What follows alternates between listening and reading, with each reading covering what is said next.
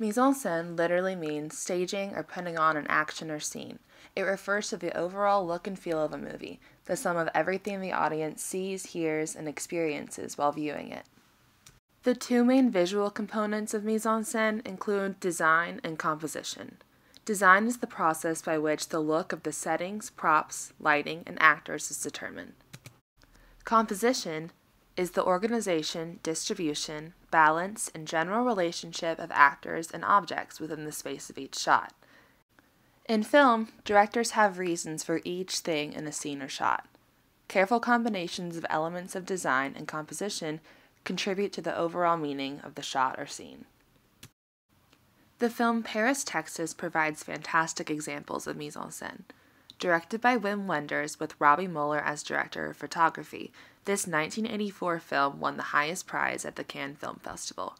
Paris, Texas is well known for its unique visual identity. The film uses color and light to convey the meanings of certain scenes and shots. At the beginning of the film, the color palette consists of harsh browns and blues. The pop of Travis's red hat contrasts against these colors, further establishing his character as an outsider and a loner in the desert. The red palette remains present in the early stages of the film.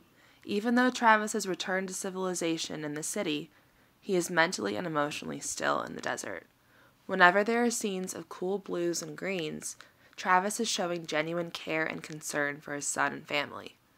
The reds and browns of the desert reappear in the scene where Travis visits Jane at the peep show.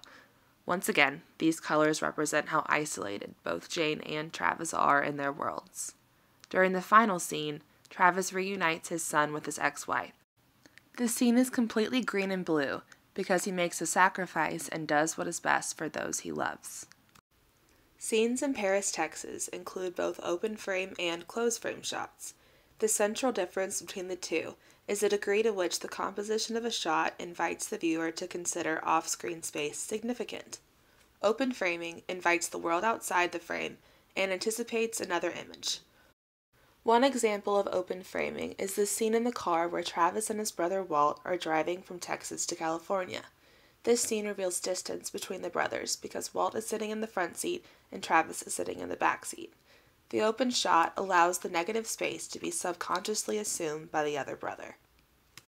On the other hand, closed framing either puts everything you need to know in the frame or acknowledges off screen spaces in ways that seem confining.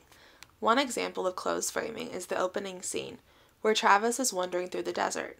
In this closed frame scene, the off screen space is not very significant. Everything we need to know is already in the shot. Another component of mise en scène is the rule of thirds.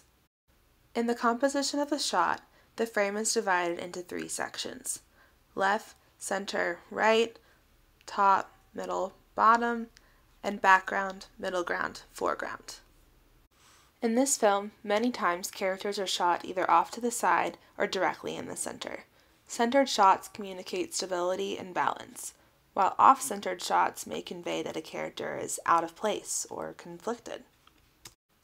Much of the mise en scène in Paris, Texas is due to the work of Dutch cinematographer Robby Muller.